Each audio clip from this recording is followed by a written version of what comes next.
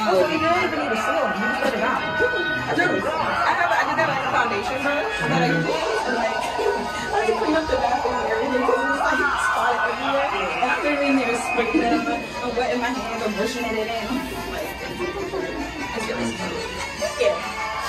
Okay, folks, coming, coming down.